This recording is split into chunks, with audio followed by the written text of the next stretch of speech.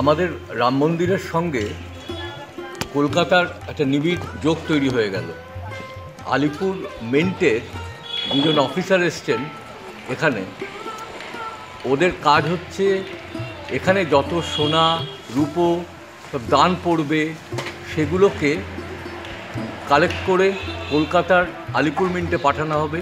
সেখানে তার পিউরিটি প্রথমে যাচাই করা হবে। তারপরে সেটা বার তৈরি করা হবে। এক একটা বারের ওজন সাড়ে বারো কেজি করে হবে।